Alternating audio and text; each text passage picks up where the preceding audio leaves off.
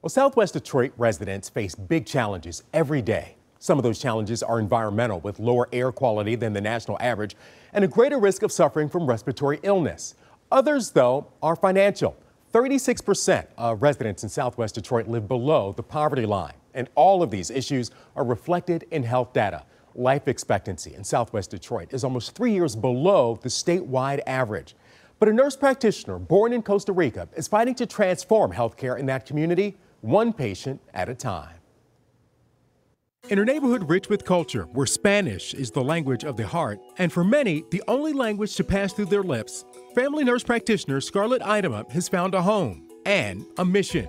In March, she opened Medicina Scarlett, a family medicine and urgent care clinic. Her goal is to increase access to healthcare and break down barriers like language. I'm to say 90% of my patients are Spanish speaking, and I am that's my first language.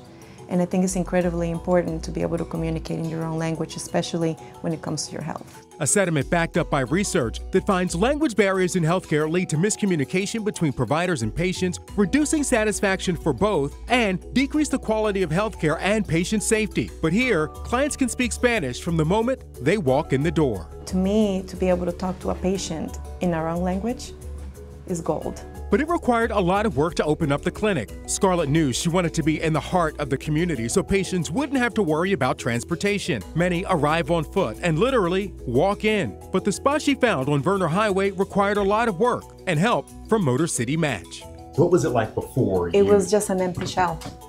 There was nothing but an empty room with no walls. After a complete floor to ceiling rebuild, Medicina Scarlett focuses on convenience. So, this is our lab. With blood draws done in-house and some ultrasound procedures done on the spot to speed up referrals to specialists. And soon, they'll offer certain vaccines at no charge. Because we have a lot of children who are unvaccinated coming in and we ask the health department to give us the vaccine so we can give them for free. Scarlett says each handoff of care to another provider or another location risks a drop-off in care. So offering as much as possible on-site increases access and improves outcomes. We also have a pharmacy um, on site. Where the pharmacy techs also speak Spanish, led by pharmacist Amid Nahas. This is my partner in crime, and uh, so we just we work really well together and make sure that all patients get the same care as well. Medicina Scarlett opened in March with the summer ribbon cutting as the 168th Motor City Match business. I'm not gonna lie that I was a little nervous that